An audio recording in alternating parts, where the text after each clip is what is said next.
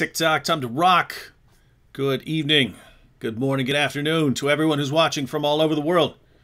I'm your friendly neighborhood philosopher, David Wood, and with me now is the author of about 187 books, Robert Spencer. How are you doing, Robert? Just great, David. How are you? Good, good, good, good, good. Um, for people who haven't been around, because we always get new viewers and so on, new subscribers, uh, why don't you recap? Because people, I, I, I also get comments from people saying, "Hey, how, how how's how's Robert? How did was Robert okay?" Uh, why don't you give people a quick recap of what happened a while back? Sure. Uh, April 28th, 2019, to be specific, I uh, died. My heart stopped. And then I got better, but I was uh, pretty much out for about 10 days and then in the hospital for about six weeks. And this was not just uh, heart failure, but kidney failure, liver failure. Pretty much every organ just gave up. Figured this guy's done. And uh, had to learn to walk again. All sorts of entertaining things have been happening, David, but mm-hmm. it's all on the upswing. And uh, I can tell you that after a considerable period, I tell you, you know something. Last year, around this time, actually, I think it was June, we did a video. It was the first one I had done since I had gotten sick, and uh, I remember speaking to you for about five minutes, and then it was five after the hour, and my voice was shredded. And I thought, how am I going to make it through mm. another 55 minutes of this? And of course, even that would be a short video for the ones you usually do. But now I'm happy to say that uh, I'm blabbing as much as ever, and it's uh, it's not terrible and painful to either do or to listen to, and uh, very happy to be here. Very happy to be above ground. Very grateful to God, and there it is. Um, and I, I heard, I heard that you actually had a Muslim doctor helping you out when you were going through some of the health issues. Yes, that's correct. Uh, I was actually uh, uh, getting some surgery, and uh, there was a cardiologist who was doing it, and I was uh, awake the whole time. Um, actually, uh, this is something, I mean, I don't have a whole lot of experience to compare it to, but this is not something I would have expected. I would have thought for this, you know, they open your chest up, you're there, you're going to be out. But all they did was put a, a, a curtain up so I couldn't look at the gory details. And then they had this nurse, I'm, I'm, I'm very grateful to her to this day, who uh, engaged me in conversation. And we had a very incisive discussion about jazz music and related issues. And Meanwhile, I was hearing the uh, doctor saying that he uh, was in the middle of the Ramadan fast because this was in, uh, I guess it was in May last year, May 2019, and Ramadan was in full swing. And so this was about 3:30 in the afternoon, and I thought, oh dear, this poor fellow, he hasn't had anything to eat or drink since before dawn, and now he's got my chest open. so I was very grateful to him when everything went okay. I, I think and, I think I think it's a Ramadan exception that even if you're fasting, you can eat Robert Spencer's heart. Well, you know, I believe, that, I believe that's allowed. Thing. I think this is the first time that I have publicly discussed this gentleman, and a lot of people would say, "Oh, but you you hate Muslims. You must have hated this doctor." And I think that's ridiculous. You totally. know, this is a, a canard that's followed us around, a false charge that's followed us around for 20 years and more now, David. That to speak honestly about Islamic doctrine, about Islamic jihad violence, about Sharia oppression of women and others, is to hate Muslims. It's mm-hmm. ridiculous. It's false. I love this guy, and I told him you know, thank you for saving my life after uh, he he went through the surgery. But I was just so glad that he was had enough. Uh, what would one say? Equipoise, prepossession. He he he was uh, together enough to be strong, hale, hearty, able to concentrate mm-hmm. even after a day's worth of no food or drink. And so, more power to him. Mm-hmm. Yeah, and uh, I mean, we're not we're not in the Bronx anymore, but uh, of our five sons, two of them have a, a medical disability, and, and their pediatrician was a uh, hijab wearing Muslim woman, and uh, you know, if, if, you're if you're a if you're a good if you're a good pediatrician, I don't care what your I don't care what your religion is, and so it's uh, in fact, if you run into that doctor doctor, you can tell him he's got a golden ticket. If I'm about to if I'm about to blast Muhammad one day, and that one doctor that one doctor wants to call and say, David, just let this one go. Let this one go. I'll let it go. I'll give him a golden ticket Okay. where where he gets a he gets a You know he gets a something blessing. else, though, David. Uh, now that this is out in public and people know this, I would expect that there are numerous Islamic jihadis, Islamic supremacists, Islamic apologists of the type we were discussing last night who are absolutely appalled and enraged that their co-religionist, this physician, did not do me in when he had the chance. Mhm. And uh, well, so much for them. He he, valued the Hippocratic Oath, and uh, well, I'm glad of it. Yeah, that is good. And uh, yeah, everyone. So to criticize an ideology is not to hate a person, which is weird because I mean, I went through, I went through philosophy graduate school. All you do in philosophy is attack everyone else's position. At the end of the day, that's all you do, and the goal is to, to sift out weakness. I mean, find weaknesses in, in person's position. So you sit there, you sit there for days or weeks working on your paper, get your brilliant argument down, and then you give it, you present it in front of everyone, and then everyone just mercilessly attacks it and tells you how stupid it is. And that's what everyone, that's what everyone does. It never crosses anyone's mind. Oh, you just attacked my position. It's the end of the world. You're trying to have me killed. Oh, you're a Da- you're a David Woodaphobe. You're trying to murder me because you said my position is wrong, and then I need to change my position and get to the truth. Oh my goodness! It's it's it's only when we get to certain positions that uh, that can't withstand any level of criticism and have to rely on this sort of uh, oh you're racist because you criticize this and so on. Pure and cow- also the, pure cowardice. threat of violence, David, is exactly uh, so. Last year, uh, uh, somewhat after our voice shredding video, I uh, spoke uh, at uh, a uh, county Republican meeting up in New England, and there was all sorts of an outcry and people trying to get us canceled and all the, the usual things you'd expect. And the there was a local Muslim family in this rural area of New England who actually said, "We fear for our safety because this guy is going to speak." And I thought, "Well, oh come on, Yeah. what what a lot of hooey." Mhm. You know, they if you criticize an ideology, people are in danger. If that were followed out consistently, then nobody would be able to criticize anything. Mhm. But of course, it's just a weapon used to try to silence people who speak honestly about Islamic jihad doctrine. Yeah, I think I think there I think there's a kind of mixture. On the one hand, they know that they can they can weaponize this. They can say we, we're in fear of persecution against us, and if you play a victim right now in the West, um, you get all the sympathy points in the world. But uh, I I think there may be some Muslims who take this sincerely, thinking, oh, if people are attacking our position, that's because they they you know they they want us killed and stuff like that. There may be muslims who know from their perspective that when you call someone when you criticize someone's position you're basically calling for them to be killed because that's how it is That's- in islam. yeah. if you say hey he left islam or hey he's got a false position or hey he's got a false religion that's a call for either his death or his, at least his violent subjugation. And so they might come to other parts of the world and not fully absorb that you're you're free to to believe what you want and you're you're you're free to say what you want. They they might not absorb that thing. ah, they're criticizing our religion. That means they're all about to kill us or something. And so, That's an excellent point. I never thought of that. That's uh, I got to hand it to you, David. You win the internet for tonight. well, I uh, I do have that effect on people. I am a I am an unstoppable fire hose of awesome points.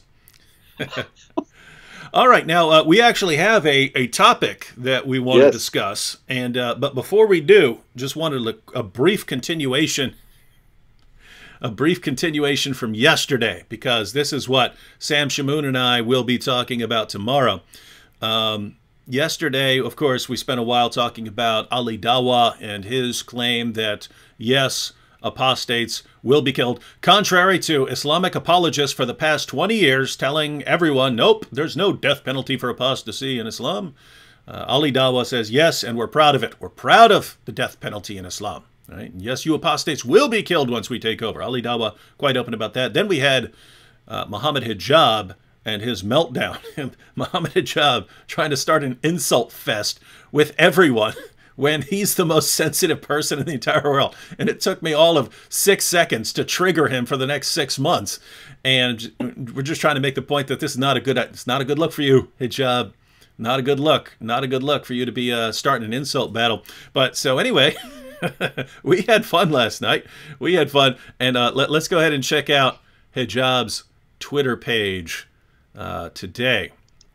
So we have Muhammad Hijab, who's comparative religionist, political philosopher, author, and debater, according to his Twitter. Uh, but notice, an uh, all around good guy.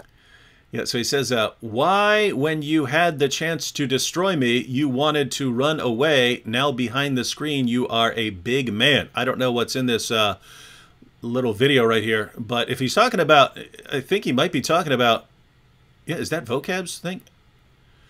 Okay, I think he's talking about when I was on vocab's live stream and I said that once I realized he had lied to me, um, and was breaking the deal, I wanted to walk off stage. So they're probably, I haven't watched that, I don't know what they're putting in there, but uh, they're probably taking a clip where I said I wanted to walk off stage. No, you see, he's afraid of me. Ah, yes. He was afraid of me. I actually got that. I actually got that from you, Robert. Um, when we did that, that two, yeah, when we did that two on two debate, and uh, the, uh, you know, imam or whatever he was, just kept, I mean, broke all the agreements during that last ten minutes in Philadelphia broke all every every rule they applied to us. He went one by one and broke all of those rules. And you're about to walk out. You were just going to get up and walk out, or you're going to speak out.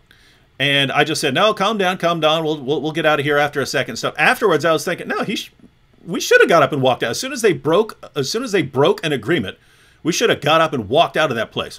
And so when it was it was later when I debated Muhammad Hijab, and they make me, the Muslim side makes me agree to all these terms. You will agree, no personal attacks. You will agree that you will be friendly the entire time. You'll keep the entire conversation friendly. You will not go off topic and address something else and so on. So then, as soon as I start seeing him just hurling insults, it's like, oh, you're you're another one of these guys. You're one of these guys who makes up a bunch of rules that you know I will keep because I have integrity and that you will not keep because you have none, and you don't believe that you're obligated to ha- to honor your agreements. And so I told Vocab in an interview on a live stream, I said, uh, I said my my inclination was just to walk off stage, right? So go up there, talk for a while, and this happened repeatedly throughout the debate. It's like, what? Okay, he's he's breaking it again. He's breaking the rules again. He's breaking the rules again. Why am I sta- Why am I sitting here? Why am I not walking off? Get up, talk a little while, and uh, each time it was sort of, ah, these people showed up any I'd get up and I'd look at the audience, eh, these people showed up. Why am I gonna why am I gonna punish all of them for, you know, hijab and so on? But it actually it actually affected things because sometimes I wasn't paying attention to them because I was thinking, oh, I'm just gonna walk off stage anyway. Why am I why do I need to uh why do I need to uh, flow the flow the entire debate and, and write down all his points and so on? But uh, so notice notice hijab. Well, I watched that debate and he wasn't paying attention to you either. He was just heaping insult upon insult. He had no arguments whatsoever. All he did was like you said last night, thump his chest and say his arguments were the best, and he was he was speaking the truth. And I, I'm not even going to pay attention to this guy. I'm not even going to speak to him. I'm not going to answer any of his points. Well, of course he wasn't because he couldn't. Yeah, and now, but look at this. Why, when you had the chance to destroy me, you wanted to run away? I wanted to run away because you're a liar, like your God and your prophet, right? I wanted to walk off stage because someone, you guys just keep getting away with this, and your own fans do not hold you accountable. You can tell, uh, you can announce to your own fans, "Ha ha! I lied to him," and they'll cheer you on, right? Just like they cheer you on when you heap abuse on people and when you call women names. And look, he, look, I just said call women names. Look at the very next, the very next tweet here. Uh, David Wood mocks and laughs at. Um, that's oh, uh, his nickname. His nickname Is that for apostate prophet. That's apostate. Oh, that's his that's a nick, the nickname for the apostate prophet's wife. Uh, I'm certainly not laughing and mocking uh, her. Uh, I am mocking um, hijab's comments about this, and this was right before, of course, I uh, took a bite out of the Quran. And hang on, now, now here we go. Here, here's here's the funny part. okay, so let's skip this and go right back to it. Um, so this is hijab, and he says, almost a year has passed. Let's arrange this. Let's see if you're a man of your word. And if you're brave as you claim, this is uh, Muhammad Hijab challenging Sam Shamoun to a fight. right? So, so he's got, look, enough talking. Enough talking. So he's got the picture of uh, Sam Shamoun there. And enough talking. and and then after challenging Sam Shamoun to a fight here, then he says, "Also, if your friend David Wood is a big man, let him have a legal bout with me also. Let's see what he will be spitting out then." And his wife and and his wife and Marie and the kids can watch their husband slash dad get decimated legally, physically, just as we dealt with him intellectually. right? I, this guy, you must have hired this guy. He can't be real. He must be an actor. This is all a big show, right? This is another. Yeah. This is Islamicize me taken to the next level. And Muhammad Hijab is really a Christian evangelist that you persuaded to, to grow the beard and take on the persona. Am I right? Yeah. Can we announce that now yeah, tonight? yeah. Here, here's here's what's hilarious. It's I had only watched. I mean, I'd had I'd met Muhammad Hijab uh, at the debate and saw how he acted and so on. Apart from that, I'd only watched a, a couple of his videos when I started, you know, doing this little impersonation of him during live streams and so on. You know, uh, uh, me, me hijab, me strong, me me strong than you. Uh, you know, uh, and I started doing that impression. What's hilarious is now that I the more I learn about him, he's like worse than my than my parody of him. He's worse. Yeah. He's actually worse, right? I'm sitting there here, me strong, me, me strong, me crush you, and then we we go to his Twitter page. I challenge you to fight me.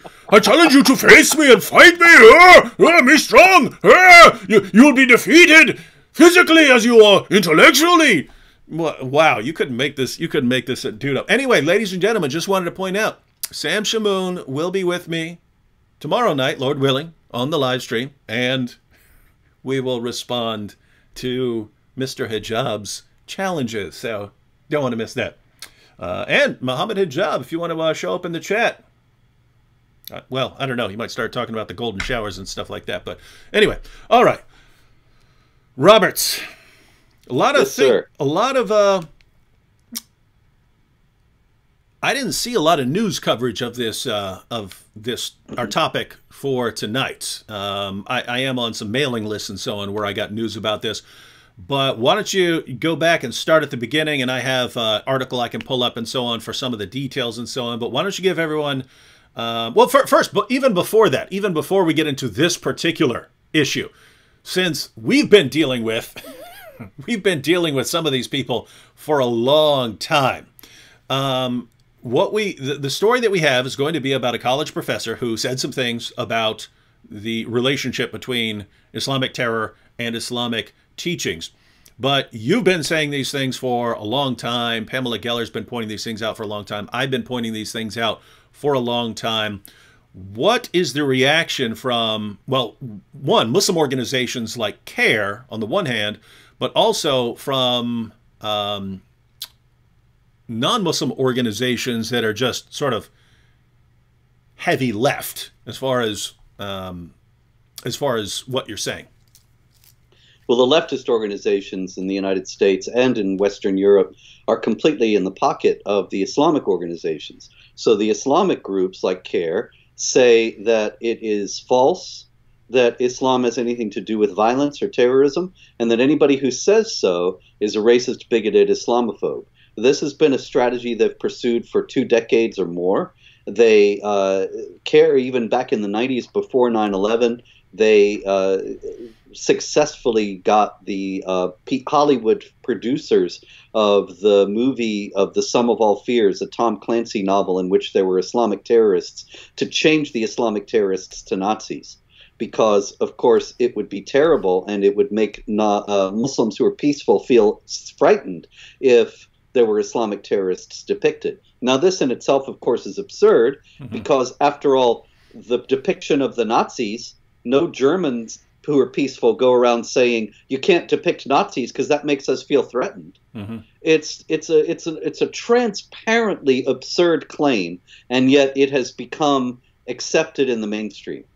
That that and would so that would actually be a yes, sir. That would be a funny video project for the future, where we reenact we reenact, let's say the uh, the attack on the on the cartoon contest that, that you guys had, but we make them like white supremacists in order to avoid hurting hurting feelings and make them like complete rednecks and stuff like that. Uh, you know something, David? That's something I've wanted to do for a long time, and I still think it could be done. And so, if there are any Hollywood producers who see this, contact me at director at jihadwatch.org. Uh, this is the, the think about this. What if you had a movie about a guy in America in 2020 who said, I went into a cave and an angel appeared to me, and I'm a prophet. And he gathered around a group of followers, just a small group to start with, and was at odds with the people in his town who didn't like him because they had a thriving tourist trade based around a religious shrine that was in that town.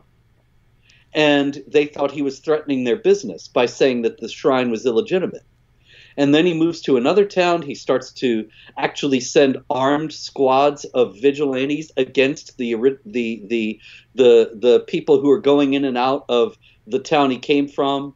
And well, you get the idea. You take the whole story of Muhammad.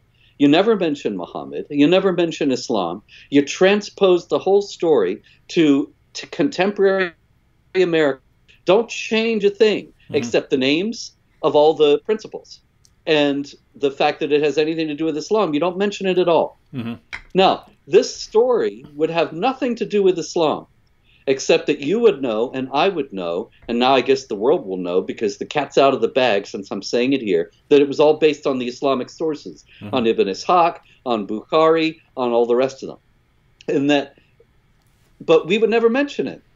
Mm-hmm. The Islamic groups would still go crazy, even though they would not have to take the bait. They, it's 100% certain that they would. It was it's just like the billboards a few years back that uh, somebody put up saying the perfect man married a nine-year-old girl, mm-hmm. uh, led uh, six beheaded 600 Jews, and all these things. Never mentioned Muhammad or Islam or the Quran, and Islamic groups complained mm-hmm. because they knew what was going on. But they really, if they had had any sense, they wouldn't have complained they would have said this has nothing to do with our wonderful peaceful prophet. He didn't do any of these things, mm-hmm. but they, they they didn't have the wit. So I, I think it would be a great movie, a terrific movie about a false prophet and a liar, a con man who gains some power and ultimately changes the entire world. Yeah, we might. Uh, we could even make it Chinese. and Chinese and make it a and make it a make it a kung fu movie just to make it as as as just to throw people off yeah. as much as possible. Have it like this Great. this dude he just starts getting visions and he starts attacking everyone with his kung fu and uh and uh something. Or, yeah. Or yeah, make it make it uh make it aliens and aliens show up. Uh-huh. Yeah, we do something. We are uh, we, we, we were planning a, a while back um, it's funny. It's funny. Um, these guys, uh, they send me messages regularly. We're going to kill you. We're going to rape your wife. We're going to do all these things, but respect our prophet. And uh, you know, when they when when things reach a certain threshold, then I'll decide something. You know, something mean to do. But we, we want to make a I don't know if you ever saw. I don't know if you were ever into horror movies. I was when I was younger, but there were movies uh, called. Yeah, uh, I'm not anymore, but uh, back then I was. But there are these movie, these sort of gore movies called Evil Dead, where there's all these demonic possessions going on and things like that. But we're thinking about renting a cave somewhere and having having Muhammad's, you know, when he started getting his revelations in the cave, but have it like an hour and a half horror movie of uh, his interactions with demons in the cave yes. and so on before he comes out and declares that he's a he's a prophet. It's all it's all right there in Bukhari at the very first hadith. Mm-hmm. There, it's all there. It would make a terrific horror movie. Yep. People don't know. Mm-hmm. Now, uh, we mentioned so we mentioned uh, you have of course groups like CAIR. How stupid have people been in falling for the claims of the Southern Poverty Law Center because. Well, you know, that's just an ongoing problem. Mm-hmm. It's incredible to me, and it's so ludicrous uh, that the only thing I can think, and I'm, I do not have any evidence of this, maybe it isn't true, but I do wonder. The Southern Poverty Law Center has an incredible amount of money. You know, David, I gave money to the Southern Poverty Law Center in the 1980s mm-hmm. when I was a young leftist and I thought they were doing good work. And of course, maybe they were doing good work in those days. They were fighting against racism and so on, or at least they said they were. Mm-hmm. Uh, nowadays, they've run out of racists and they've expanded their targets and they're doing pernicious work, but they have hundreds of millions of dollars. I wonder if that's behind some of the uncritical support that they get for from pretty much entire the entire mainstream media, all the big social media mm-hmm. corporations, they just take their word as gospel. They're, they're considered to be infallible in matters of what constitutes a hate group and what doesn't. Nobody ever thinks to question them or wonder if maybe they're making a mistake, maybe they have their own agenda, maybe they're pressing their case, and so on. Yeah. Uh, but uh, yeah, people are very stupid to take what they say at face value and not examine it. If you look at the rap sheet on me, it's full of uh, uh false conclusions, false mm-hmm. constructions mm-hmm. of things I said, things ripped out of context mm-hmm. in a mm-hmm. genuine manner. Uh, there's nothing to it really at all. One of the things they they uh, I, I'm constantly called a white supremacist because people confuse me with Richard Spencer. But a lot of times when I say no, you got the wrong guy I'm not a white supremacist. They double down because the Southern Poverty Law Center has has an article about how I'm a white nationalist, mm-hmm. and their evidence is that there is a book on a reading list that was attached to an article I wrote mm-hmm. that they say is a white nationalist book. Now, the fact yeah. is, I did not compile that reading list. I didn't see it before publication, and I've never read the book. So mm-hmm. it has nothing to do with me at all. Yes. And also, I'm sure it's not a white nationalist book anyway, because they, they anybody's a white nationalist to them. Mm-hmm. But this is just a, an, an, indication of how ludicrous this whole thing is. Yeah, uh, I have a, a, comment here from Artemio Ortega. He said, "I support the the Southern Poverty Law Center." And yeah, Artemio, uh, you may you may support the Southern Poverty Law Center because you've seen them after after some sort of racist incident coming out and saying, "Well, we're the ones who actually uh, we're the ones who actually fight this racism." Um, no, as Robert pointed out a couple decades ago, that may have been the case when they were suing the KKK into, uh, you know, into bankruptcy and so on. When they were trying to do things like that. Now, what they do is they take people who are criticizing any position that they have to that they happen to disagree with. So, if you are against jihad, right? I mean, at the end of the day, that's what Robert Spencer does, right? He's against jihad.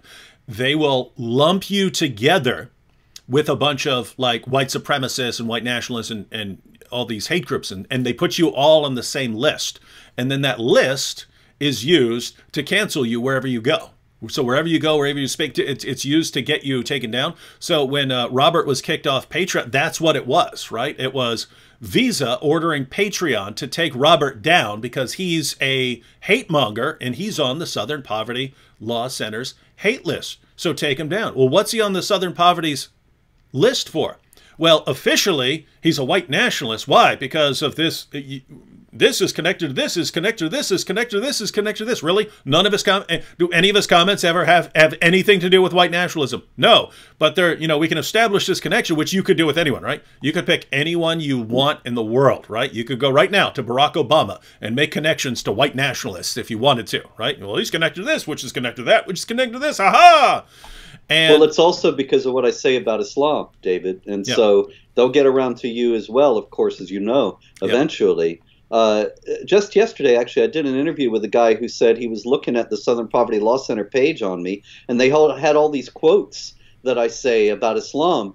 Uh, I don't know exactly what quotes they are because I don't go to that page. It's kind of depressing. But uh, he was saying he was reading these and thinking, well, yeah, okay, What's the problem here? Like mm-hmm. I'm saying, Islam has doctrines of violence, which is what got me banned from Britain. Saying that doc- Islam has doctrines of warfare against unbelievers. Mm-hmm. Well, stop the presses. That's really something that I made up. People have known Islam has doctrines of warfare against unbelievers for 1400 years, and Muslims themselves say it routinely. Uh, why is Ali Dawah calling for the killing of apostates? Because these are doctrines of violence that are in Islam but he's not banned from Britain because he's for them. You have to be against them to get banned and mm-hmm. to get on the SPLC list.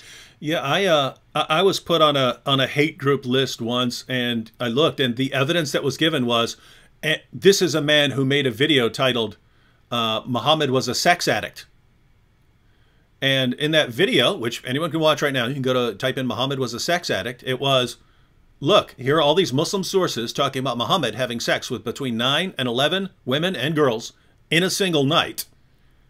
And I said, today, if we saw someone going from one woman to the next, nine to 11 times a night, we would say that man has that man's a sex addict. But think about it. The, the culture is so insane that you could say that about anyone. If you said it about anyone in the entire planet, gosh, this guy has sex with nine to 11 women and girls in a night. If you said he's a sex addict, everyone say, yeah, he's, that man's got an issue, right? But because it's Muhammad, you're an actual hate group for saying it. So That's it. Yeah, so wild, same thing. See, this is why I think the movie would be great. The movie would show this guy who does all the things that Muhammad does, but we we don't say it's Muhammad. Mm-hmm. So everybody should be able to watch this movie and say, "Wow, this is a terrible person who did evil things." Yep. And no uh, no Muslim group should be upset because it's not Muhammad. It's just some guy. But we'll just use Ibn Ishaq as the source for the screenplay. Mm-hmm. And, and great. And could uh, you'd have to have a big budget, but for for a small for a smaller budget, we we could, as as you mentioned yesterday, reenact some hadiths. Those would be yep. relatively cheap, but don't don't include the name, but just change all the names and change the gear and put Muhammad in these exact same situations, but call him Jeff. Yeah. And watch people be horrified at how sick and twisted this guy is. Yeah. Yeah. Um, some people uh, have asked about the possibility of suing groups like the Southern Poverty Law Center. I think it's harder oh, to yeah. I think it's harder to sue in the U.S., but easier in the UK for, for things like defamation because uh, who was it in the UK yeah. who sued them and, and won and they, they paid like I think over oh, a million dollars. That guy's name Maajid Nawaz. Yeah. Maajid Nawaz sued them, and he's a moderate Muslim. I actually, he's a leftist as well, and I, I saw the complaint that his uh, lawyers had written, and it was very skillfully done because they they were able to say, look, he's he's on the left, he agrees with you, mm-hmm. Southern Poverty Law Center, on all your agenda. Now, of course, I can't say that mm-hmm. because mm-hmm. I actually do stand against a lot of these things that the Southern Poverty Law Center stands for, and so that wouldn't cut any ice. But also, yes, the uh, British law, as far as I understand it, the burden of proof is on the defendant in a libel case, but on in the United States, the burden of proof is on the plaintiff, hmm. and so I would have to prove malice. And they would, of course, say, "No, this is the. We didn't mean this fellow any harm. We just uh, this is a dispassionate evaluation."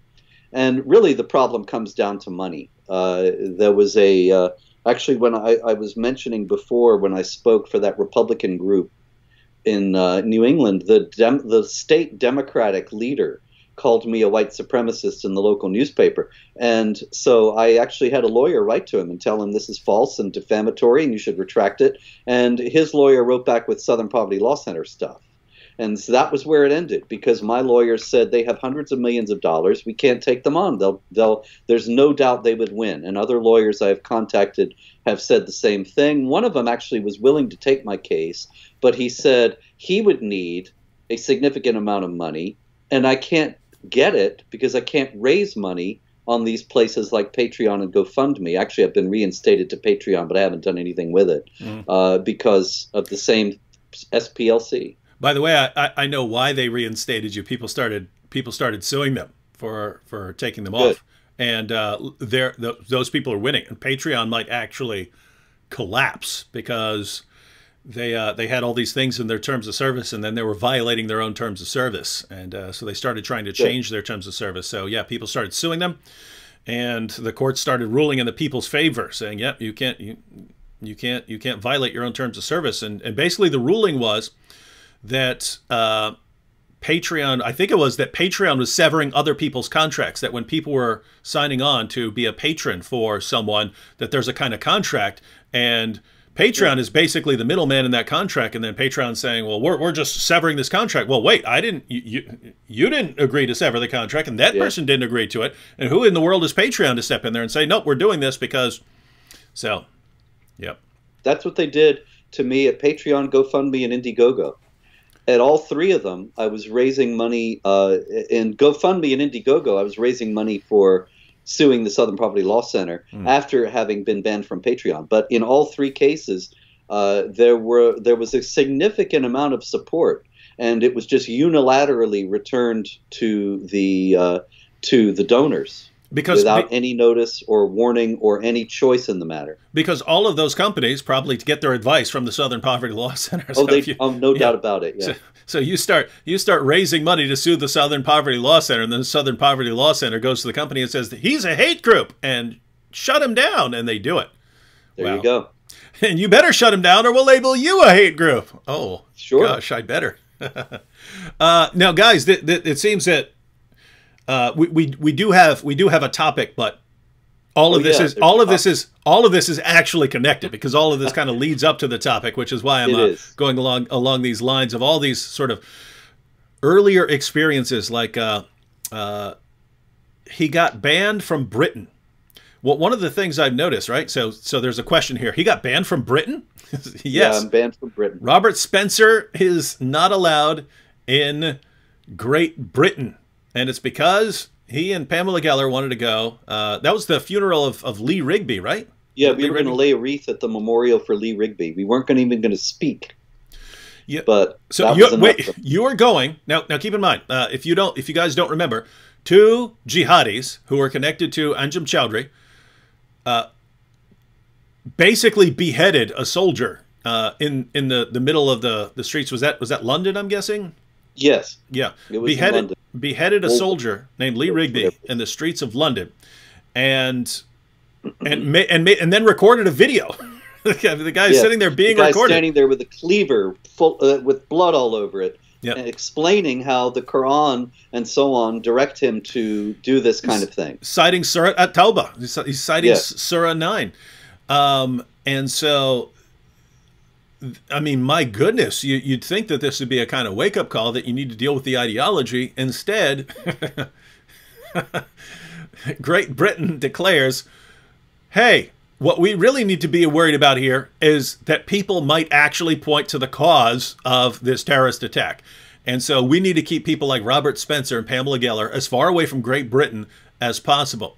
Um, we'll have all the well, all the jihadis in the world are welcome here. All the jihadis in the world, you're welcome. You're welcome to go chop people's heads off if you want. But under no circumstances can we have anyone who who might want to discuss the actual cause of this attack. Yeah, that was the only reason they gave. I was I was actually right here in this office, right in this same place, and I saw out uh, the my office window the FedEx truck drive up, and he has this uh, uh, whatever you call it, certified letter or something, official letter from the UK Home Office. He said it's from the UK Home Office. The FedEx guy was impressed, and I. Uh, I, I open it up and it says that you have said, and it quoted me from something saying that Islam has doctrines mandating warfare against and the subjugation of unbelievers. And we are afraid you're going to say that again if you come to Britain, and therefore you can't come. It didn't say you're a criminal, you have a criminal record, because I don't. It didn't say you call for violence, because I don't. It didn't say anything except that I said something they don't like. That is absolutely true. And it, it- notice this is uh this is very similar, very similar to the issue we're going to be talking about now with CAIR suing people for saying something, even if what you're saying is entirely true, just not allowed to say it. Like uh, who was that? Elizabeth Sadish Wolf, who Sabaditsch, yeah. Sabaditsch-Wolff? Elizabeth Sabaditsch-Wolff. yeah, Yeah, she, she, was. Uh, go ahead. Oh yeah, so uh, she was tried and found guilty and had to uh, tried and found guilty for calling Muhammad a pedophile. When And it was at a private conversation, David. wow, She was giving a private seminar. It was not open to the public, but they had an infiltrator in it who went up to her in private. She didn't even say it to the seminar group, Hmm. but in private during a break.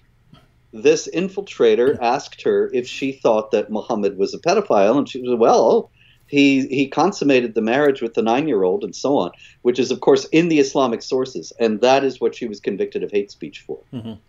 Yeah, so I mean, just think think about how all this stuff is is connected. Robert Spencer exposes the link between Muhammad commanding his followers to wage terrorist attacks and people today waging terrorist attacks, and that makes him a hate group. I said, hey, if Muhammad had sex with 9 to 11 women and girls in a single night, we'd call that a sex addict. Up, hate group. Elizabeth over in Europe, hey, Muhammad had sex with a nine year old girl. We call that a pedophile. Guilty.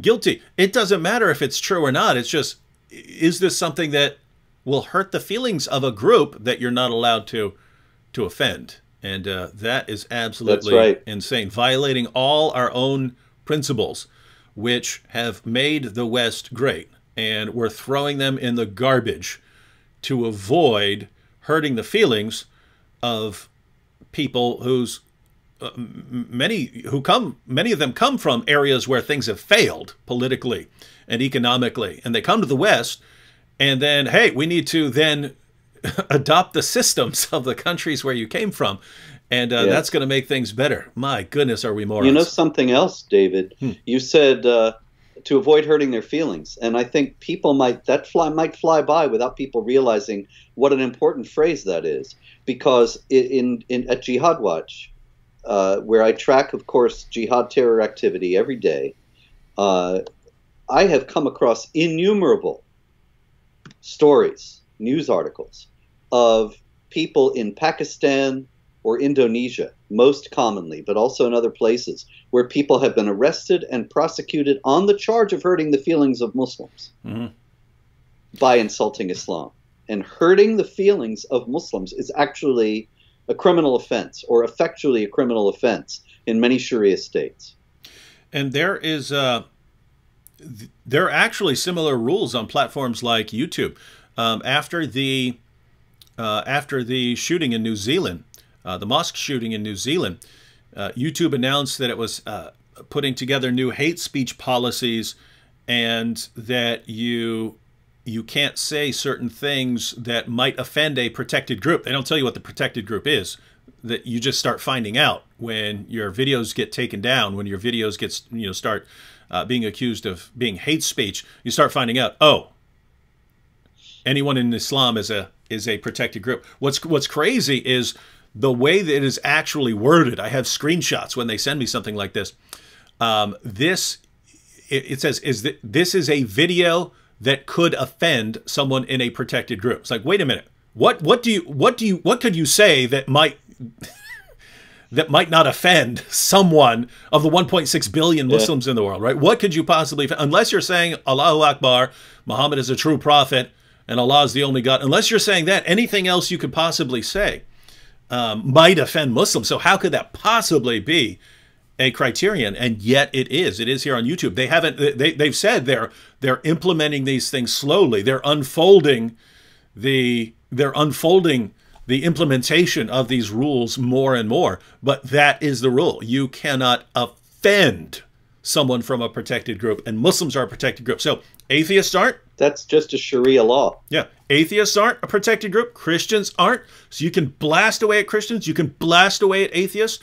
But if you're if you're hurt, you know, if you're if you're saying something that could offend Muslims, well, they're a protected group. So wow, this is insane. Absolutely insane.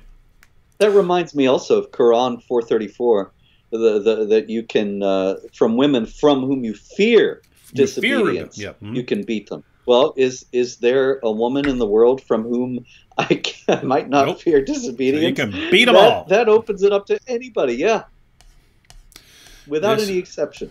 This is wild, wild stuff. All right, before we before we uh, check out this this topic, just wanted look at this guy here, Igor Ivanov. Igor Ivanov. I'm a white nationalist. You're a moron. Igor here says he's a white nationalist. Come on, dude. Of all the things, of all the things you can divide people up on, you're going to do it uh, based on the amount of the amount of melanin in your skin. Could be a moron, dude. And, and I'm saying that I mean there is personal interest here. Um, I'm uh I'm pretty darn white. My wife is half Asian. Um, my brothers are one quarter Latino. Um, my wife my, my wife's sister, so two sisters, my wife's sister um, married, so my wife's sister is half Asian, half white. She married a man who's half white, half black. uh, if you you can kind of go down the list to all of my friends. I mean, you've got Vocab. Vocab's Italian, but his adopted kids are Hispanic. Uh, John is black. John McCrae is black, married to a white woman. Right? You could go down the list. Everyone I'm connected to would not be allowed in your in your white nation. So look, you want a white you want a white nation? Go somewhere else. Leave us all alone, and then we don't have to listen to your your stupid nonsense anymore. Absolutely. All right, all right Robert. Wait, wait a yes, minute. Sir. Robert said absolutely. He he agreed with the stuff. How are you a white nationalist, Robert? I don't. I got the proof. I got the I'm the case. bad one. The case cracker right now. All right, let's get into this topic now. All right, yes. so we, we've we've gotten the background that all this stuff has been going on a long time. You'd think that people would be uh, coming to their senses, and yet you still have groups like CAIR trying to silence, and that that's the connecting thread in everything we were just talking about. People trying to silence uh, any sort of criticism against Islam. And it completely goes against everything that we're supposed to stand for in the West, right? If you want, if something bothers you, you can you can say it, uh, but not about Muhammad. So what's going on? Okay, this uh, this story comes out of Arizona, and it is a story of a class taught uh, in the World Politics Department by a professor named Nicholas Damask and he was teaching about terrorism, gave a test that had these three questions on it. Number one, who do terrorists strive to emulate? Oh, wait a wait a minute. Don't, don't you don't you have those in your in your article? Yeah, they're in the article. Let me uh, let me pull up the article, and that way, yeah. So this is an article. article. Yeah, let me pull that up real quick, and then we can read them along with you. Uh, okay. All right, and scroll down to them. So he was giving a test. All right, I have them on the screen now. Yeah. So right, this is from Damask's test, and it says, "Who do terrorists strive to emulate?" And of course, the answer is Muhammad. This is obviously manifestly true. The terrorists, Islamic terrorists, that is, and that's what he was specifically teaching about. This was not a general question about terrorists, although taken in isolation, it looks like one. It was about specifically Islamic terrorists and that's clear from the statements of innumerable Islamic terrorists around the world for decades that they are emulating Muhammad. Mm-hmm. That is something that they themselves have frequently confessed. Uh, second, where is terrorism encouraged in Islamic doctrine and law? And the answer that uh, Professor Damask was looking for was the Medina verses. That is, of course, the portion of the Quran where the doctrines of warfare against unbelievers are laid out. And number three, terrorism is blank in Islam, and that is justified within the context of jihad, which is also manifestly true, and also aid, abetted by statements of Muhammad, including things like, I have been made victorious with terror, and the fact that it's quite clear that he's speaking about uh, physical terror. Uh, the, the clown uh, Asadullah another Islamic apologist who he, he made some videos supposedly refuting my book, The History of Jihad, and he took issue with my quoting Muhammad saying, I've been made victorious through terror, because he said, oh, he just means the fear of God. It's a concept that's in Judaism and Christianity as well. It has nothing to do with terrorism. And of course, the the fear of God in Judaism and Christianity and in the Old and New Testaments has nothing. It doesn't say anything like Quran eight twelve which says, I will strike terror in the unbelievers, strike their necks, and strike mm-hmm. off their fingertips. That's an odd kind of fear of God. But mm-hmm. uh, the, in any case, the point here is that everything Damask said was absolutely obviously true. Mm-hmm. And to anybody who is simply interested in an accurate delineation of the ideological roots of terrorism, it would be completely uncontroversial.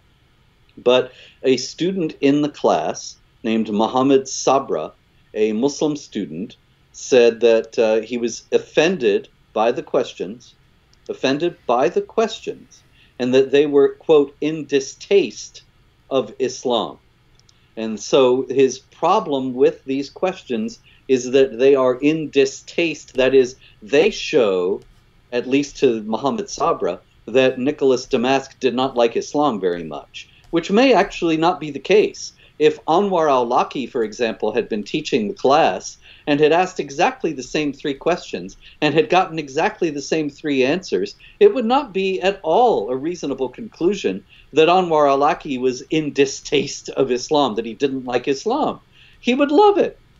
Mm-hmm. But Nicholas Damask, obviously, he's not a Muslim, and so Muhammad Sabra jumped to the conclusion that he was not reporting these completely readily establishable facts in a positive manner. And mm-hmm. therefore, he went to the Council on American Islamic Relations, CAIR, and they sued Damask and the Scottsdale Community College uh, for essentially what is viola- a violation of Sharia, of Islamic law. That Islamic law forbids criticism of Islam. Damask had, in their view, criticized Islam, although really what he had done was what we do. He had reported accurately about what Islam teaches, which is not criticizing. And on that basis, they wanted him to be dismissed. They wanted him to be silenced. They wanted a, an apology from the Scottsdale Community College, and so on. And the story only gets worse from there.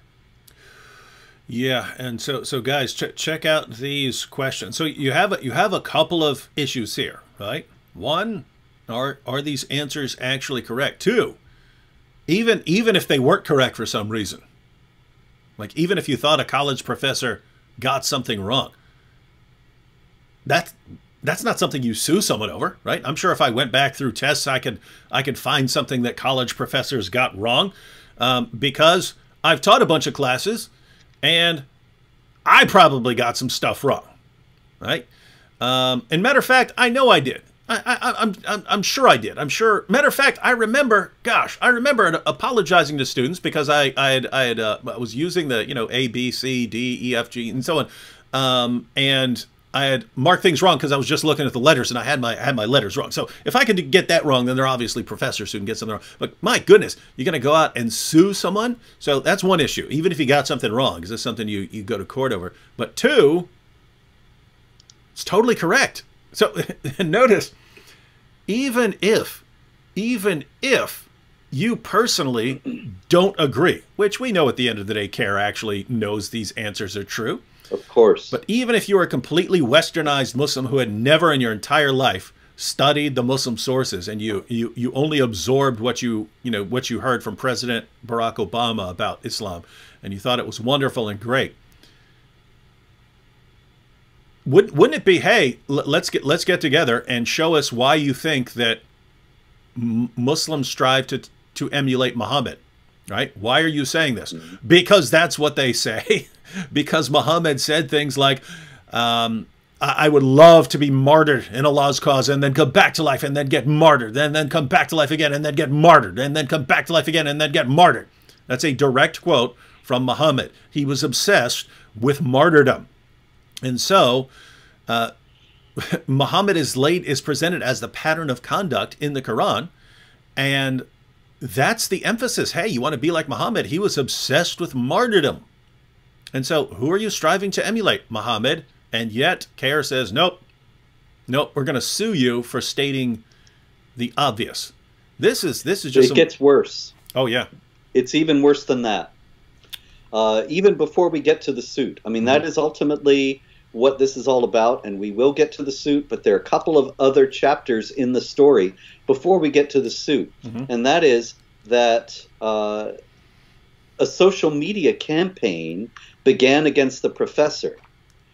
Once this got out, Muhammad Sabra apparently spread the news of this to the Muslim community at Scottsdale Community College in Arizona, and uh, the the college's Instagram account started to fill up with what Damask says were uh, angry, threatening, inflammatory, and derogatory messages about the quiz, the school, and myself. And so, note, he started to get death threats, and he had to go with his family into hiding because wow. he was getting death threats. And why was he getting death threats? The irony here is so thick, I can barely even enunciate this. The fact is, he was getting death threats for saying Islam was not a religion of peace. he was getting death threats from Muslims for saying that Islam has a connection to terrorism. That that is funny. I just got a I just got a uh, death threat yesterday, and uh, it's someone who's mad about me saying that Islam promotes violence, and uh, so he's going to come and kill me. Said he's, he's praying to Yeah, he's praying lots of those. he's praying to Allah that he will be the one who gets to come and kill me, so that uh, you know he can refute he can refute me. this is this is a, so wait so I, again I haven't I haven't been I never followed this story very closely. Uh, I saw articles pop up. I got the gist and so on, but so you're saying that this man put a couple of put a couple of questions on his test that pointed out that terrorists are striving to follow Muhammad, things like that. And in response, once this information got out that he had said that there's a connection between Islam and terrorism, he had to go into he and his family had to go into hiding because of the death threats from people Yes. who are saying we're going to come From, kill them. from clearly from Muslim students. We're going to go getting them. kill this guy for saying that our religion is violent. This is well, Yes. The the one of the things that was uh, uh, written on the Instagram account, just so we can see who it was coming from, was I wish everything bad on these kufar. I hope he suffers. Drop the professor's address here. I just want to go talk to him. Uh, you get the idea. But the use of the word kufar, of course, unbelievers makes it very clear these were not uh, leftists. This was not Antifa that was coming after him. And it gets worse, David. it gets, worse even than that. worse than that. Okay. Yes, even before we get to the lawsuit. Uh, Dam- Damask, the professor, had a conference call with Scottsdale Community College's Dean of Instruction, Well, that's not Kathleen. That's not Was bad. that? That's not bad that the university is coming to his defense from all these people who are threatening to kill him. That's what you said. It gets worse. Now it's getting better. Now the administration is stepping in to defend their professor from people who want to do him harm over something he said. I mean, imagine a world where you would do someone harm over something he said. It's it's a good thing. This is a good thing. This is not worse, Robert. This is better. The university is coming to his rescue. Go ahead. In a sane world, yes. But this is Scottsdale Community College, which is part of American academia. That is not a sane world. Uh, the Scottsdale Community College officials, in the first place, put a new post on their Instagram account where, remember, Damask is in the middle of getting death threats. And they say that Mohammed Sabra was right, Damask was wrong, and that Mohammed Sabra would receive an apology from Damask. They had not cleared this with Damask. They just wrote that he was going to get it, and and would receive full credit. The student, Muslim student who was offended, would receive full credit for all the quiz que- questions that offended him. So he had, uh, the, Mohammed Sabra has discovered at Scottsdale Community College a way to get an A without studying, a way to get an A without doing a thing. All he has to do is say he's offended. So Kathleen Iudicello, the dean of instruction, and Eric Sells, the public relations marketing manager of this college, they talk to Damask and they said, tell him you're going to apologize, and we're going to write your apology, and it's going to go out under your name. And they said, he, Damask says there was no discussion of academic freedom. There was no discussion of whether the college was supportive of me to even continue to teach about Islamic terrorism. And he said that uh, he wasn't going to do this. And so they had several more calls. There was back and forth. And then he says during one call with Iudicello, she stated that my quiz questions were Islamophobic and that before continuing to have any further class content on Islamic terrorism, I would likely need to meet with an Islamic religious leader to go over the content. Selected that by I would likely selected by CAIR, I'm sure. Oh, sure. Mhm. And that I would likely need to take a class taught by a Muslim before teaching about Islamic terrorism any further. And so the college completely threw him under the bus. They were ready to force him to apologize. And that was when Damask started to contact groups like, including the David Horowitz Freedom Center. And David Horowitz uh, referred him to me. I wrote the first article about what was going on. Other people wrote articles about what was going on. And uh, the college was embarrassed and actually backed off. And that's when the lawsuit came in. that CAIR, see, they thought they had victory in sight. They thought they were going to get him fired or at very least silenced, publicly disgraced, humiliated. He has to go listen to their dawa presentation from some local imam. And instead, the college backed off. Hmm. And then they sued. And they said that Mohammed Sabra's rights under the First Amendment had been violated. And what they're essentially suing for, as I said, it's it's they're they're assuming that criticism of Islam is illegal and wrong. And mm-hmm. so this was a very important case because this is something that Islamic groups have been trying to get in the United States for years, and no doubt they're going to keep trying. The Organization of Islamic Cooperation, 57 Muslim governments, since 2005, when the Muhammad cartoons first appeared in the Danish newspaper Jyllands-Posten, they have been trying to get the Western countries, and most importantly the United States, to criminalize criticism of Islam.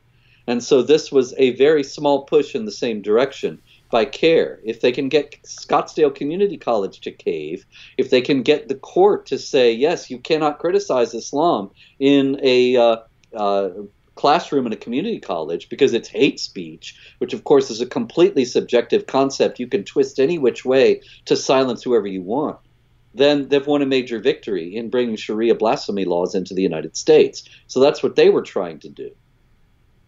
And that is. Uh that is so absolutely insane, right? It's uh yeah. it's I've had lots of professors over the years and lots of atheist professors, lots of Christian professors. I've had professors who were happy to make fun of atheism at certain points. Uh, and I've had atheist professors who are happy to make fun of Christianity or religion in general at certain points. I remember one, I had a uh, biology teacher, biology professor, taught anatomy and human physiology, human anatomy and physiology. And he would be explaining stuff and he would go, Oh, but this just happened, right? This just happened. This just, this system just developed by the ones that did not having it, you know, dying out and so on. So he would say that he's clearly making fun of people who didn't believe that this, that this is created. Um, it never I don't think it crossed people's minds. We need to get this guy fired. We need to get this guy fired. Or professors who, you know, are clearly hostile towards Christianity. Suddenly you get to Islam. You get to Islam. And even if what you're saying is 100% true, like I'm sure, I'm sure if that uh, professor had uh, had a question on his test, uh, how old was Aisha when Muhammad had sex with her? And the correct answer was nine years old well, you just hurt the feelings of a Muslim student who didn't know that, and therefore we have to sue you, and you need to uh, you need to apologize. I think I would or have knew that very well, but didn't want everybody else to know it. Yeah, I, I think uh, if I think I think if I were him, I would have apologized, but done it like really sarcastic fashion. you know, I apologize for stating a fact that hurts your feelings and you know, I would never want to hurt your feelings with a fact, especially when your feelings are, you know, I would, I would have gone probably somewhat. Well, you know, I think that Damask was willing to do that or willing to write something of his own, but the college, remember, was going to write his apology mm-hmm. and put it out under his name, and he had to accept it. Uh, and they were probably trying to forestall any possibility that he would take the advantage of that opportunity to heap sarcasm on this whole absurd affair. Mm-hmm. Yeah. So, uh, well, what happened? So the court they ruled yesterday morning. Yesterday uh, morning. So this just yesterday happened. Morning. This was Sabra versus Maricopa County Co- uh, Community College District, and it was a ruling from Judge Susan M. Brnovich of the U.S. District Court for the District of Arizona. And of course, this was uh, CAIR's suit, really, not Sabra's. Sabra being just a college student, it was CAIR lawyers who were arguing on his behalf. And Brnovich notes in her ruling that this case tests the limits of the First Amendment's religion clauses. And uh, man, you can say that again. That is really why this case is so important, because we either have the freedom of religion or we don't. Mm-hmm. But people don't realize, uh, few people seem to understand that a case like this cuts very uh, right to the heart of the freedom of religion. It's not really Muhammad Sabra's freedom of religion that was threatened. he could just go away thinking Nicholas Damask was wrong or a lout or a bad guy or who knows what and never think about him again. And no problem, no harm, no foul. But what he's trying to do is restrict the ability of Nicholas Damask and everyone else to speak honestly about this particular religion. Now, is does the freedom of religion include the right to criticize a religion, or does it is it only about whether you can take one up or not yourself? And so this is how Brnovich approached the case, and that is very uh, all to the good. That's why we have good news ultimately at the end of this. Um, she said, and she set it out very clearly. She says plaintiffs allege that Damask's instruction unconstitutionally concludes that Islam mandates terrorism. When I read that, I had to laugh. Do you, have do you, have read the U.S. Constitution, David? Have you not? Mm, yeah. And I've read it. Uh, my my new book, as a matter of fact, is about the American presidents, and uh, I read the Constitution again because I wanted to. The whole idea of it is evaluating them in light of the Constitution. In any case, I did not find anywhere in the Constitution the provision that it is prohibited to say that Islam mandates terrorism. Yeah, uh, yeah, I missed and, that one uh, too. Yeah, and the, the, the, they allege the plaintiffs that Damascus is not teaching that only some extremists espouse these beliefs, but rather that literally Islam itself mm-hmm. teaches the mandates of terrorism. Now, we've already discussed that's obviously readily established, it's manifestly true, it's not really even a hard or obscure point to find. And the nub of their argument, Brnovich says, is that the only objectively reasonable conclusion of Damask's actions is that his primary message is the disapproval of Islam. And that to that I thought, well, yeah, so what? Maybe it was. Mm-hmm. Even that is not established, though, as we previously discussed. To speak the truth about Islam is not necessarily to disapprove of it. But even if he did disapprove of Islam, you know, you're talking about your professors. I remember I had a professor. Uh, I was uh, a very uh, young man, of course, going to college, and I was a young Christian. And there were people who told me, don't take this New Testament course from this particular professor because he will rip your faith into shreds and hand it to you in a paper bag.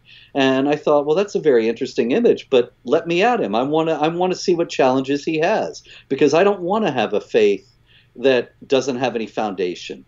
Uh, you know, I might as well just believe that Mickey Mouse is going to bring me candy every Thursday at 2. It doesn't have any basis in reality. And so if that's what this guy is going to do, then I want him to do it in front of me and I will not hate him for doing so.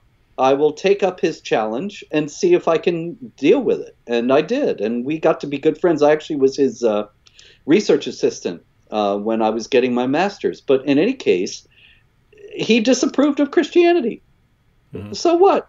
Nobody thought, like you said about the uh, the guys who were making fun of atheism. Nobody thought, hey, let's take this guy to court. Let's complain about how he hates us. Uh, it, it's it's ridiculous. Mm-hmm. And so uh, Brnovich wrote. The religion clauses of the First Amendment provide that Congress shall make no law respecting an establishment of religion or prohibiting the free exercise thereof. And then she says, this includes not only government approval of religion, but its disapproval of or hostility toward religion. And while the Free Exercise Clause, which applies to the states under the 14th Amendment, protects religious observers against unequal treatment and against laws that impose special disabilities on the basis of religious status, that does not mean that curriculum that merely conflicts with a student's religious beliefs violates the free exercise clause. So here's somebody, a judge who actually has sense, who actually understands the First Amendment and its importance, and who ruled against CAIR and against Mohammed Sabra and in favor of Nicholas Damask's right to teach accurately and honestly about Islam. But the last thing, David, that I want to say about this case is that even though they lost, it's not completely a, vic- a, a defeat for them and a victory for the forces of the good and the forces of truth, because of course they're going to keep pushing. They're going to keep trying to destroy the freedom of speech and bring Sharia blasphemy laws to the West. And also, this has not just been a lawsuit, this has been a campaign of intimidation. Mm-hmm. I would not be in the least surprised if the Scottsdale Community College administrators uh, after having gone through this and after having been ready to silence Nicholas Damask and throw him under the bus, if they wouldn't be ready to throw him under the bus at any opportunity they have in the future. And they're certainly going to be very wary about any kind of teaching that offends Islam. And any other college or university that hears about this case is going to be afraid. Don't teach about Islam and terrorism because we're going to get sued too, and who needs that headache? Mm. And so, it, it, even just the fact that it all happened is a victory for the forces of evil. I'm sorry to say that, but we have to be realistic about what we're dealing with. Yeah, this is some uh, this is some messed up stuff. I mean, I mean, think about this, ladies and gentlemen. CAIR could actually be a respectable organization. Think about if they had hand, if they had handled this differently. If CAIR had said, we heard from a Muslim student in the class that there are some uh, questions about uh, Islam's connection to terrorism, and the student uh, had his feelings hurt by these things. And we'd like everyone to know that we disagree with the answers on that test, even though, obviously, from behind closed doors, we know he's absolutely correct. But publicly, publicly, we disagree with this man's claims.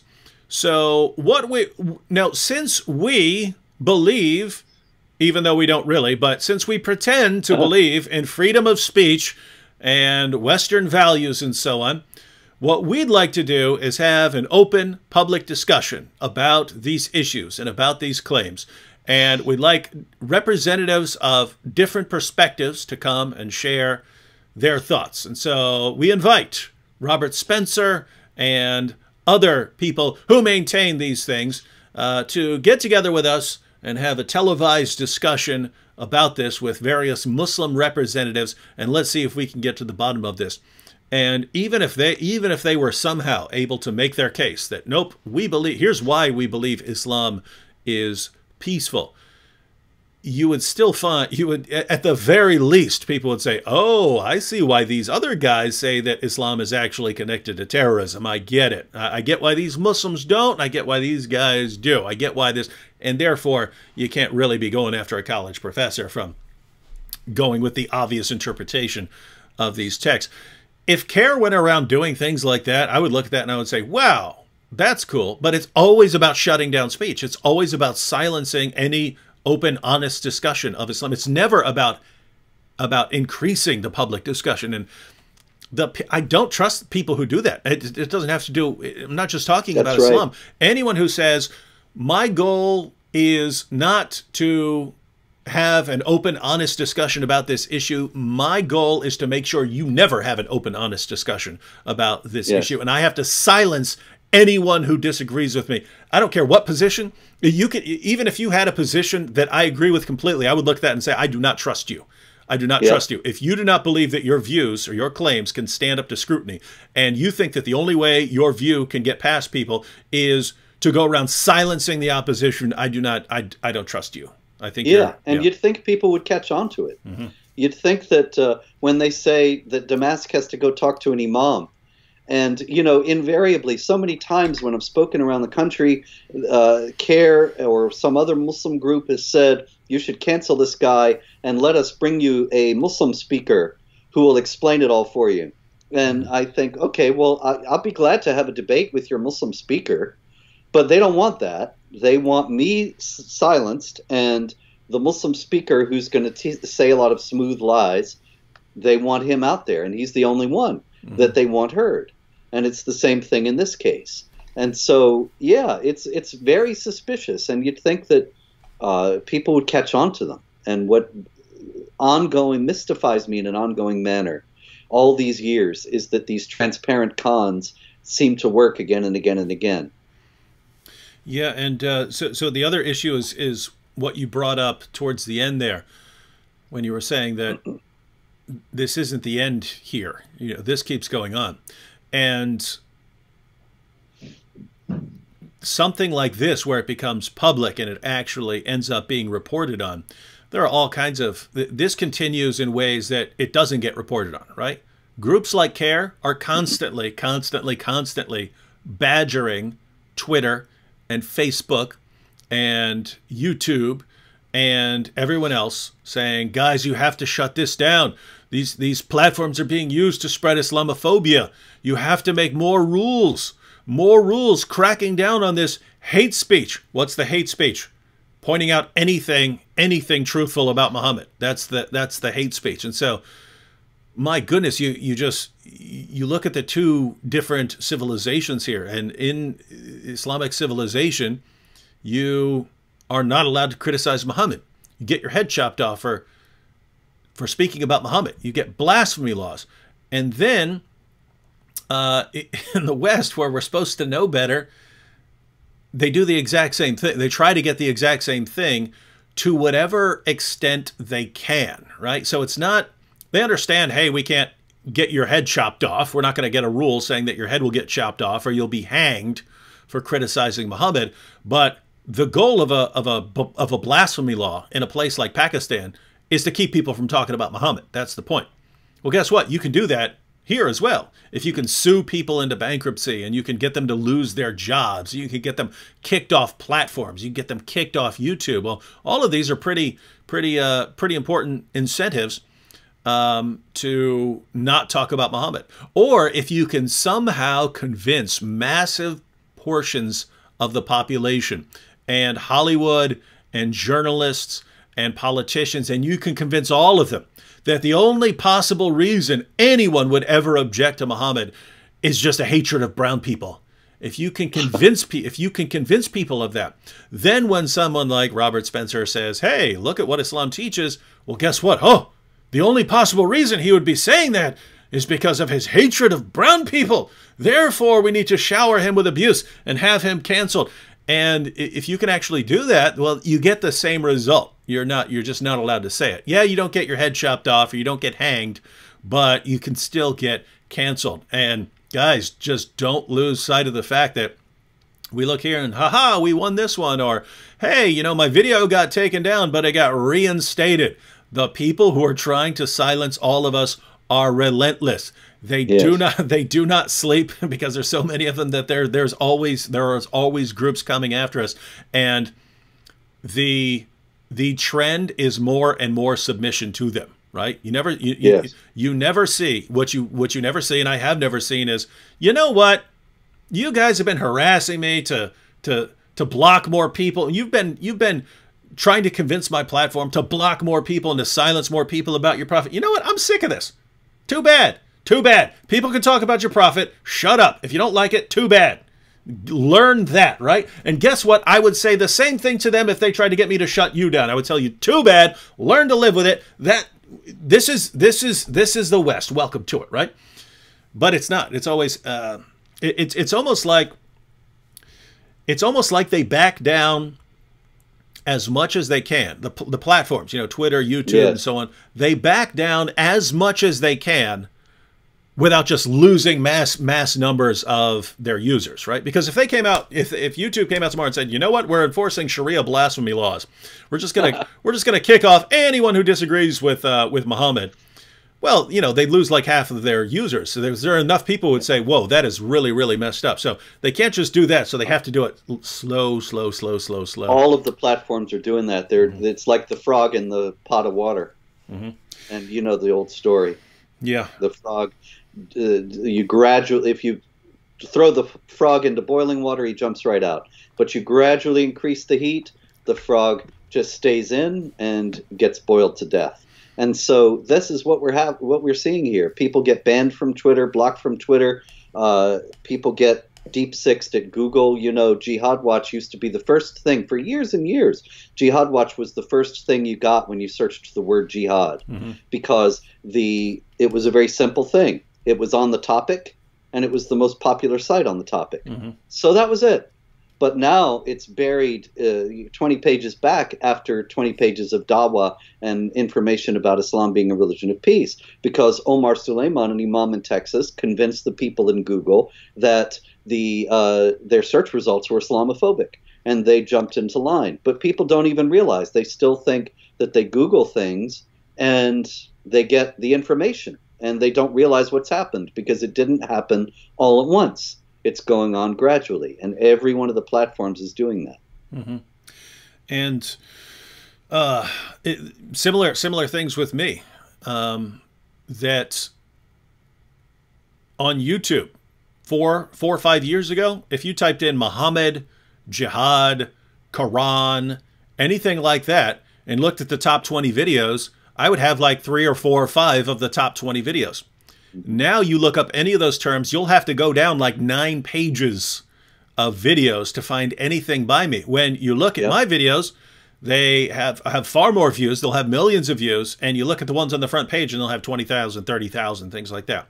And YouTube has even said about this. They said, well, they're favoring, they're they're they're tweaking the algorithm to favor uh, what they call authoritative content. So they, uh-huh. yeah, they favor the, the the good guys in all this, not you guys who are just quoting Muhammad and so on. But uh, so so yeah. So notice that's uh, that's what's going on is going on everywhere, and and you know the thing is, you look at how things are right now, and you say, wow, this is this sucks. But then you look at the trend and say, where are we five years from now? Where are we eight years from now? Yeah. After after these guys continue slowly cooking us um, where they, they implement these changes, you know, these little tiny changes every couple months, which gets something else banned, something, you know, this or that, gets this person kicked off the platform. Well, that, that, that slow cooking there, what, you know, what are things like five or 10 years from now with that, with that progression? And, uh, I just, uh, I hope people, I hope people catch on because this is not going to, this is not going to be a pretty world. Yeah, we'll be cooked frogs. It'll all be over if uh, these trends continue and aren't challenged. One encouraging sign is that the president has spoken out about these things a couple times. A lot of people are very impatient and said he hasn't done enough. But I think, well, if anybody else were president, no, he wouldn't. The president would not have said anything at all, but mm-hmm. would be applauding this going on. And so, at least we have a shot. Uh, possibly there will be some action that will be able to be taken. A lot of people talking about uh, stripping the rights as a platform from these social media giants, treating them as publishers, in which case they'd be liable, and then they could be sued. That might uh, that might do it. you know, I live in hope. Uh, I was born in South Carolina, and the state motto is "Dum Spiro Spero." While I breathe, I hope. Mm-hmm. And so, there you go. Yeah, and there there are actually all kinds of things that the government could do because this problem this problem basically arises from some unclear wording in the Communications Decency Act, which allows these platforms to block certain content in good faith if they if they if they deem it yeah. harmful or dangerous, right? Well, it's not defined what harmful and dangerous content is and what it means to be acting in good faith. So these platforms have all used that law in a way that it was never intended. It was never intended to sort of have the best of both worlds, to have all the protections, to have all the protections of uh, of a platform, but to have all the abilities of a publisher. You can just you know block whatever you want. Uh, guys, in case you don't know, we, we've talked about this on on programs before, but the basic idea here is the the current law if you're saying, hey, why don't you guys sue YouTube for messing with your content or for taking down stuff? Why don't you sue Twitter for blocking this post or that? Why don't you sue it? Well, the government has said you can't sue them over these things because they're platforms, not not publishers. And um, in order to make sure that they can still block harmful content, the government basically said, well, as long as they're acting in good faith and, and against content that that they regard as dangerous, well, notice all you have to do there is say, well, anything by whatever position you want, right? You say anything by a conservative, we're going to say it's dangerous and we're going to block it all. Or if you're on the opposite side, any content by um, a liberal or something like we're, we're gonna we're gonna block that. We regard it as harmless as, as harmful. Notice using the exact same methodology here. If you didn't want black people coming into your establishment, right? Coming into your restaurant. It's it's illegal to say you can't come in here because you're black. Well, what if you said, "Hey, you know, my public policy is I'm going to block I'm allowed to to kick people out if I regard them as dangerous." And you actually put them in there. Well, uh, what if you then said I regard all black people as dangerous? And so I'm not blacking I'm not I'm not I'm not kicking them out because they're black. I'm kicking them out because they're dangerous. Well, notice you could get you could get the same results. That's what these companies are doing, right? That's exactly what these companies are doing. They're saying, yeah, we can't say we're blocking these people because we disagree with their views or their political positions or their religious views or their moral views. They can't say that. Uh, so what they say is we're we're blocking hate speech. Well, who decides what hate speech is?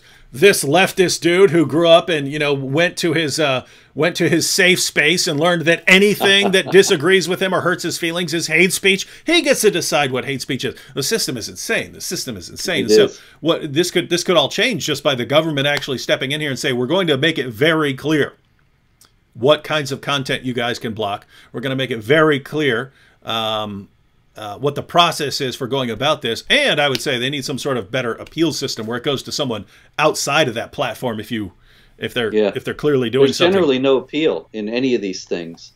You know, Amazon years ago kicked me off the uh, Amazon Smile, which is their charity program. You can sign up a 501c3 charity to get a percentage of your uh, purchases. But Jihad Watch is a 501c3 charity, but it's not eligible because Amazon decided they were going to go by the Southern Poverty Law Center as to uh, what was eligible and what wasn't. And there's no appeal. There's no discussion allowed. It's the same thing with these uh, videos. You know, we, you and I made the video last year, was it, about Tommy Robinson? And it was removed by YouTube. Did you hear anything from them about it? I never heard anything from them about it. It was just removed unilaterally. Twitter bans people unilaterally all the time. There's no discussion, no dissent, no appeal, no recourse. It was when Patreon, GoFundMe, Indiegogo, all of those people. There was no there was no way to have any discussion with anybody about it. They were completely authoritarian about it. Yeah, and that's that's I'm not on Facebook anymore and I'm not on Twitter anymore because of that. This was after the after the uh, Christchurch shooting in New Zealand. Um, I posted a video condemning the attack. So I, I called the people who I called people who think that they're going to settle this through violence and killing, you know, random Muslims and so on. Uh, I called them morons. Uh, I believe they are morons and so on. And Twitter said, uh, "We're blocking you because you posted video footage of the attack." And I said, "I said what? The video is me talking.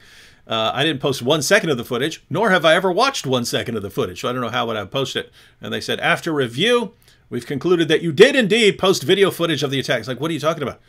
And so you have to take this down. So to this day, I am not allowed on. I'm allowed to go on Twitter, um, but as soon as I go on, it says you have to delete this video, and it's just no. You, you got you're lying. you're just you're, you're just a liar. You're a But there's no appeal. Yeah. There's no discussion. yeah, you are a person. You're a person. The, the, the person who blocked me, you're a person who doesn't like me. And you know that you can't block anything I just said as as actual hate speech because there's nothing in there. I'm condemning an attack. But you're looking for an opportunity to just block me, to just block my content. And you're saying this contains this contains video footage of the terrorist attack. No, it doesn't. Not one second. But you can say that. So, and, that, and that's the that's the problem that that that, that came out in uh, uh, Facebook. I don't know if you saw that. You catch it on Facebook a while back when they they had the undercover Project Veritas. Did Yeah. you catch that? Yeah. Same, Well, I saw that they uh, they they got Facebook officials to say that they were doing this kind of thing. Is that what you're referring to? Uh, yeah, no, they they had the, bas- basically people on the Facebook trust and safety team. They've mm-hmm. got people in there with hidden cameras on them, and these people, I'll block anybody. If I see Oh, yeah. someone in a MAGA hat, I'm blocking him, and they're just saying things like that, and it's like these are the arbiters of public discourse, right? It's Yeah, and they've got Tawakkol Karman on their board, their their censorship board. I don't I don't remember what they call it. Maybe it's their trust and safety board. I don't remember. But Facebook has she's a Muslim Brotherhood operative. This is not a secret or a conspiracy theory. This is a Muslim Brotherhood activist who they have judging whether people can be blocked or not or should be blocked or not on Facebook. So it's no surprise that uh, content that is a regard about jihad and speaks honestly about it gets buried. Yep. And so, guys, it, it's it, it- here's here's what I find truly amazing, Robert. Yes, sir. This is what I find most amazing of all. Almost everything is pretty one-sided, right? Hollywood basically has one position. Uh, the media basically has one position. The education system basically has one position. All of these platforms have one position. They're all they're all they're all pushing in the exact same direction. the fact that people still listen to us and catch on, that's got to say something about the ideas involved. Oh yeah, there's no doubt about that because they the the one drawback that they have is when they win they lose. They control everything, as you have noted. They've got the educational system, the entertainment industry, the establishment media. It's all theirs. And yet, what they say is so transparently false and unconvincing that people still seek out the alternatives and look for the truth elsewhere. And that's why this video is going to get so many views because people know they can get it here. Yeah, and uh, that is uh, that's the thing that's still good in spite of the opposition. In spite of all of the opposition, we are still able to speak uh, on our websites, even though there is sabotage. Even though they sabotage Robert Spencer in uh, in in the uh, in the Google searches, even though YouTube sabotages my stuff, uh, people are still catching on, right? And, and, and that's what's that's what's amazing. Is it, it's a couple of things. One in searches, I pointed out in searches, I used to have a ton of videos on uh, at the tops at the tops of these you know various terms that you would search. Um, I used to be I used to be if you searched taqiyya, if you said what is taqiyya or something like that in a Google search, my video would pop up at the top. My my video would pop up at the top. No more, no more of that, right? So it's basically you have things that people are searching for, but also my biggest source of videos used to be suggested videos, meaning when you're watching one video, YouTube yeah. suggests other stuff you might watch. Now, both searches and uh, suggested videos are a tiny, tiny fraction of the views I actually get. The yeah. most most of the views that I get are from subscribers who are who are watching my content. So because YouTube isn't um, isn't sending it out anymore. So, but here here's what's amazing. I'm I'm getting more views than I than I've ever gotten in the past, in spite mm-hmm. of them sabotaging. In spite of them sabotaging That's us. great. So can just you could just imagine in a world where they weren't sabotaging us and weren't blocking our stuff and weren't you know sandbagging your articles so that they appear much much lower and actually let people decide what they want to read and what they want to watch be a landslide oh no doubt about that yeah but you know they do it to everybody uh, it's an interesting thing. Just earlier today, Trump spoke at uh, a rally in Pennsylvania in uh, some place that is connected to Biden. And I thought, well, that might be interesting. And I went to YouTube to find it. And I searched for Trump Live because it was going on at the time. And it didn't come up. I searched for Trump rally. I searched for Trump in Pennsylvania. And I searched for, I think, a couple other things. It did not come up. Hmm. And I think this is a, a, major news event. This is the President of the United States, and he's speaking in the home territory of his opponent in the November election, and YouTube doesn't want people to see it. Mm-hmm. And so they made it impossible to find.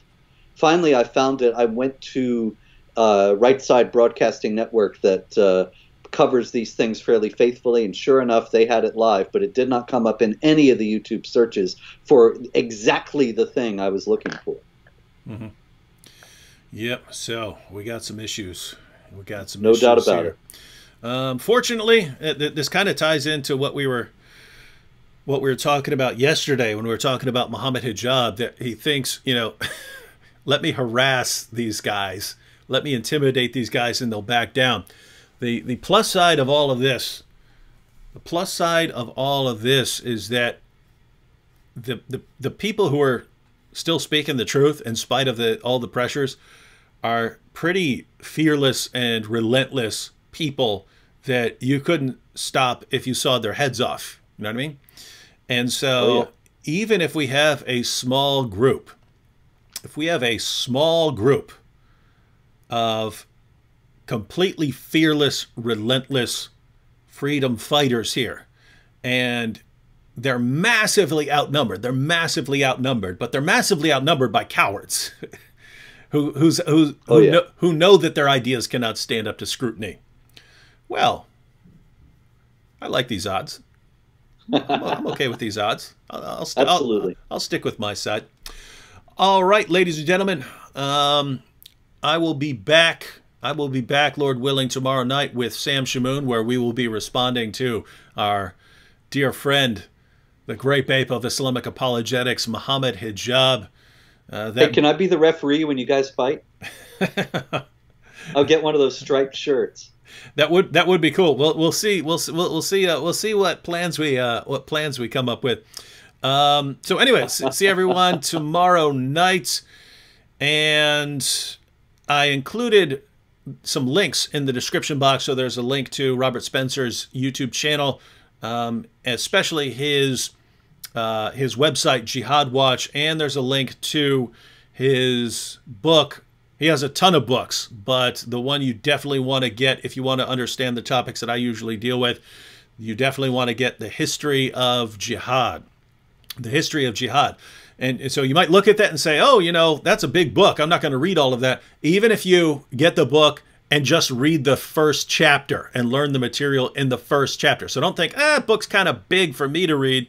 If you get through, if you if you go all the way through the book, it, it's it's exactly what it says. It's a history of jihad, right? Starts off at Muhammad, goes all the way down to the present, covering um, all these issues, and it really does not sink in until you understand that this has been completely relentless for 14 centuries. Jihad has been coming after you relentlessly, mercilessly for 14 centuries. It has never stopped. The only time it looks like it stopped is when it gets stopped, but then it's just more planning for for the next jihad. So uh, again, read that if you if you if you are willing to read a big book, that is a very good big book to read.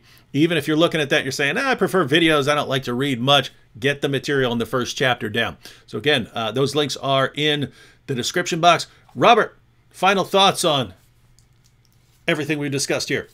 Well, it's interesting that you note that the jihad has been relentless for 1400 years. It certainly has. That was the overwhelming impression I got when I was writing the book. That there was never any respite, there was never any peace, there was never any period of calm.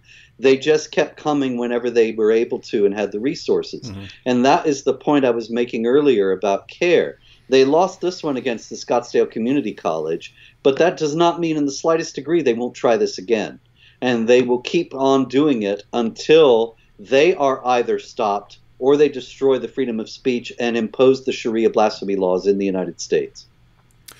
And why do they want to do that? Well, if uh, if they get their way, if they get their way, groups like CAIR get their way, then they control the flow of information.